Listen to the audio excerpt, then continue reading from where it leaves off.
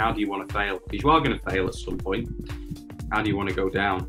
Well, I want to go down actually having took the attacking option. I want to go down knowing I've committed to my process. I want to go down knowing actually I've, I've fronted up when the opposition have been, you know, like really trying to get on top of me. I think toughness is about learning how you deal with how you learn how you deal with failure. Have you got the right coping skills to manage the emotion that comes with failure?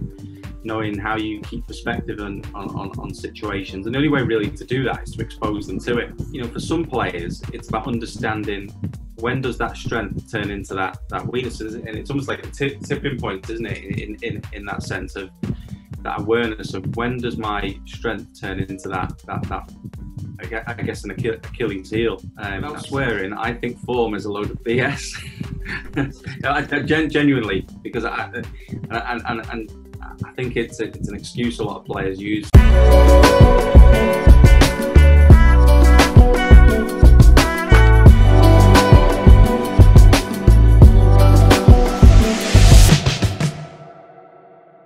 So Cricket Life Stories with me, Neel Khagram. Today we're joined by Mike Rotheram. Mike, how's things going?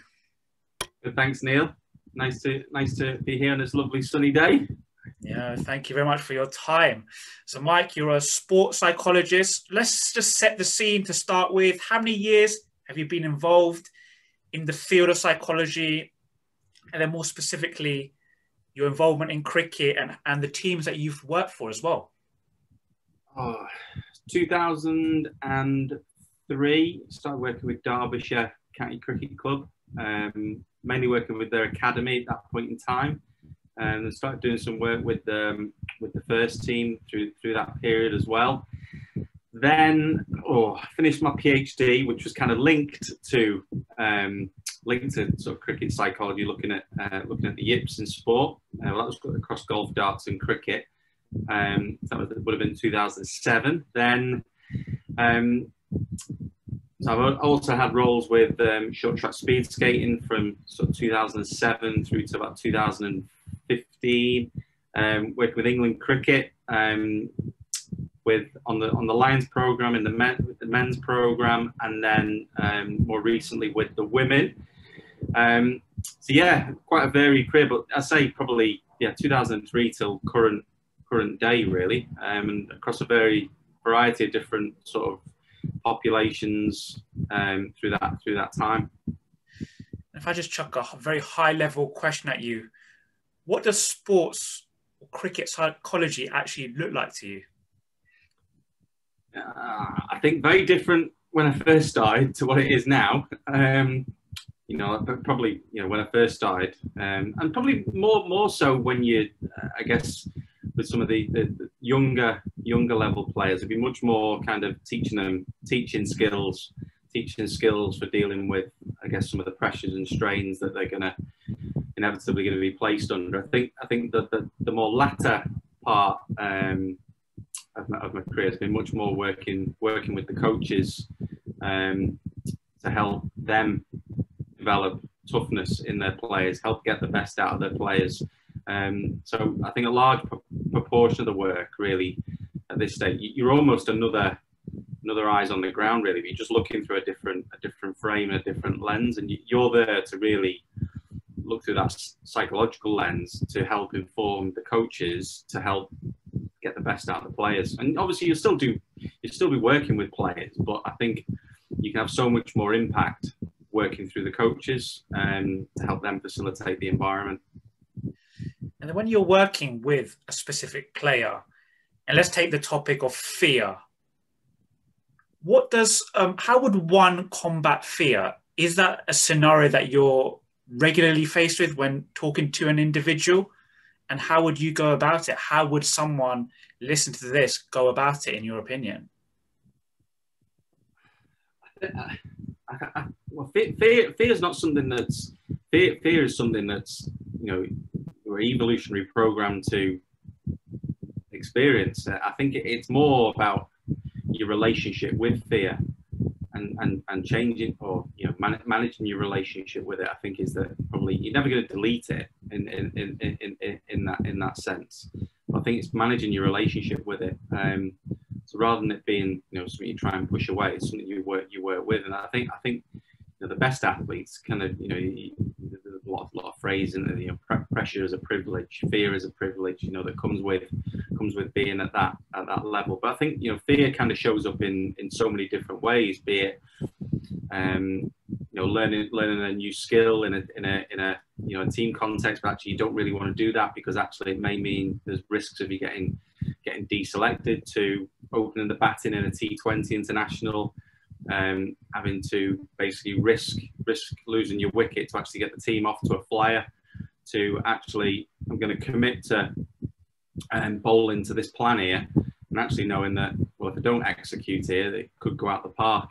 It, it kind of shows up in so many different ways, and I guess it's something that's always present. I think what you're always trying to do is trying to help athletes find out their way to commit I think that's the key word is like commit to commit to their skill, accepting that it might not work out, accepting that um, that's just that that's part of the game. Um, you know, we, we, we talked a lot about um, certainly within the um, within the within the women's program is making sure you you're judging yourself on the right things. You know, and, you know, uh, Robbo, um, who was the coach um, at the time, was very very clear. You know, I'm, I'm going to judge you on these things I'm not going to judge you on how many runs you score, how many wickets you take, or you know, like the outcome side of things. I'm going to judge you on how you show up. Um, I think that's that's probably the most most important thing of of almost like controlling the environment. Really, you you you kind of bringing yourself to bringing yourself like how how do you want to fail essentially in, in, a, in a nutshell? Because you're gonna you're gonna mess up at times, aren't you? You're gonna get stuff wrong and it's you know a great kind of way of reframing the whole situation. How do you want to fail? Because you are going to fail at some point. How do you want to go down? Well, I want to go down actually having took the attacking option. I want to go down knowing I've committed to my process. I want to go down knowing actually I've, I've fronted up when the opposition have been, you know, like really trying to get on top of me. Those kind of things. So is it almost using it to your advantage? So when a batsman's about to walk out into the middle, a bowler at the top of their mark, using those emotions, focusing the mind, and turning it into a positive? It's, de- it's definitely part of it, isn't it? You, you know, so we, we had the um, the World Cup final at Lords. Um, I know a lot of the girls that spoke about this. You know, it's first ever time you've you played at Lords, full house, probably like 90 million people watching this World Cup final because obviously we're playing against India and like the whole of India are tuned in as well. So the TV ratings went through the roof. Now you can either look at that situation and go, you know what, I'm going to let this squash me, or I'm going to use it. I'm going to, you know, I'm going to, you know, like really use the energy from the environment and and see where it takes me. I, th- I think that's the best, always the best way. You know, and that, that whole whole sense of challenge and threat. A lot of that is about your appraisal of the situation how do you how do you see the situation? You listen to a lot of commentators in many sports, but let's take cricket here. When the when the pressure is on in that crunch moment, they talk about a player having that mental toughness. Can mental toughness be taught, or is it inherent? Definitely be taught. Yeah, definitely be. Um, and I think it, it, it, it's, it's it's two sides, isn't it?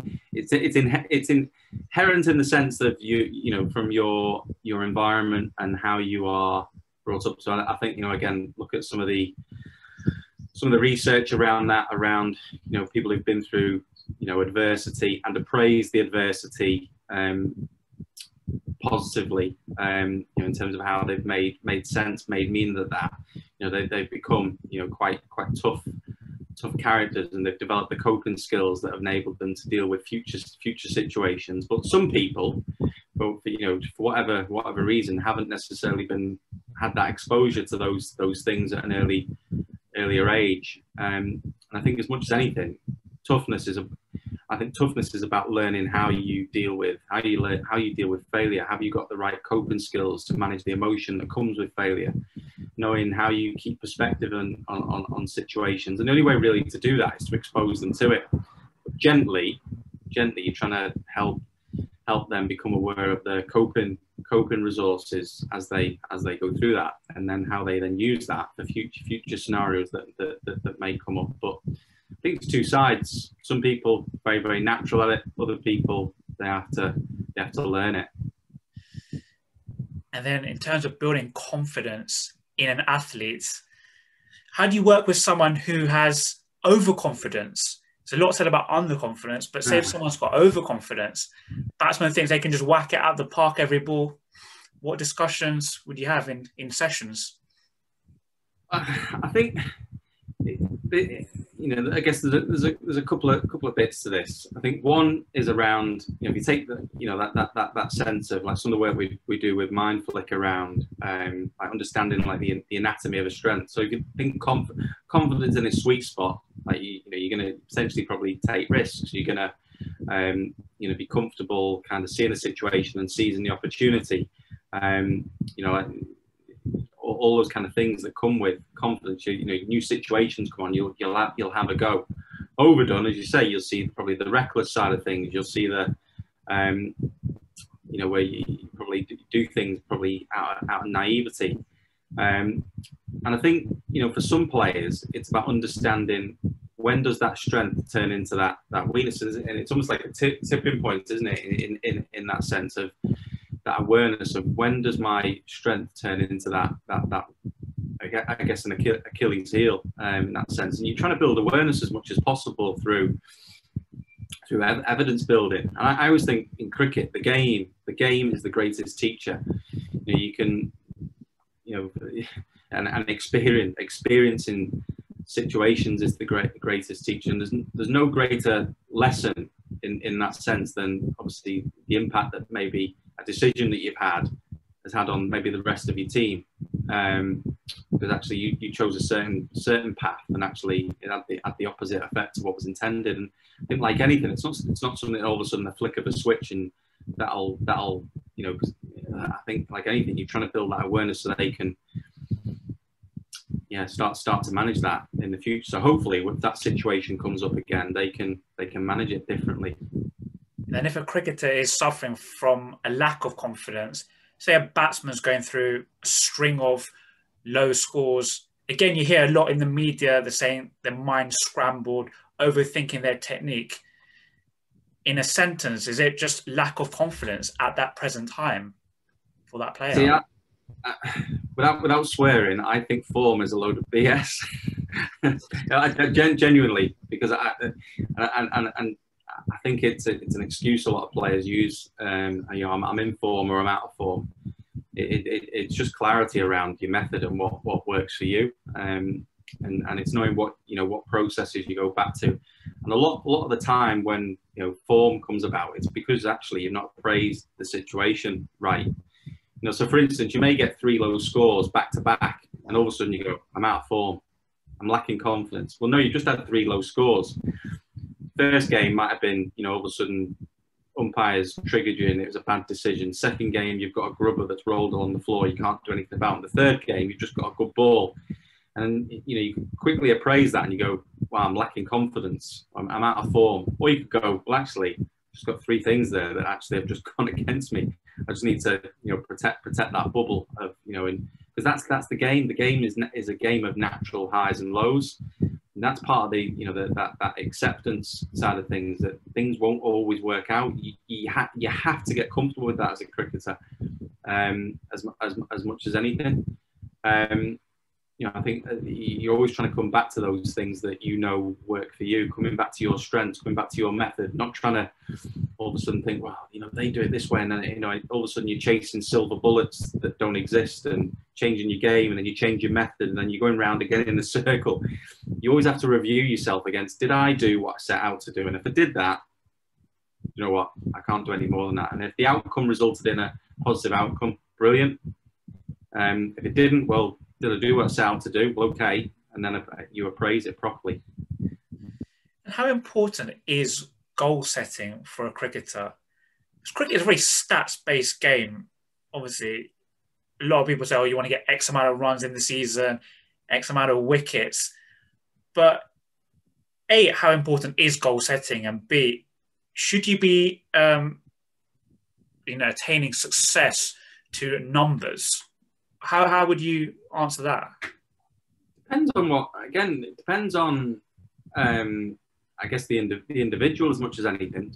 Again, I, some players who I who I work with, they'll they're, they're very very much focused on right. Well, I need to. I'm I'm I'm going out to actually achieve this many runs this year, and Um, that's the thing that that, that drives them. Um, but ultimately, ultimately, when you when you boil it back down, it's coming back to those processes.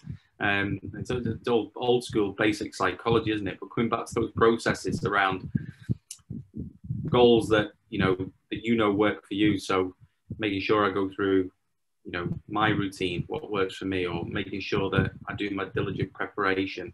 Um, I think those those are the you know the found the foundation things of um, that, that, that, that work on that side. I, I think you know again if you kind of look at all the all the sort of the, the different the different attributes um, of cricket, so like maybe S and C from from from that side, you know, you you probably be looking more around. Well, you know, I'm I'm trying to get to a certain a certain number in you know in, in, in terms of what I can you know power to weight ratio, for instance, or you know what I can what I can deadlift because actually that's going to translate to X power in my bowling action. But I think in terms of the numbers side of cricket, I think it's knowing what works for you. For some people, it's like, you know, they set themselves some goals and then all of a sudden before they know it, oh God, I'm off track. I've not, you know, I'm miles behind on my targets. And then all of a sudden the season is wrote off.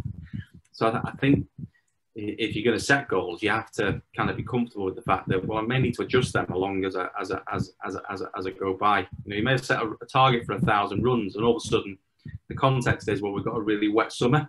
you know, it's going to be very, very difficult to achieve that goal in that context.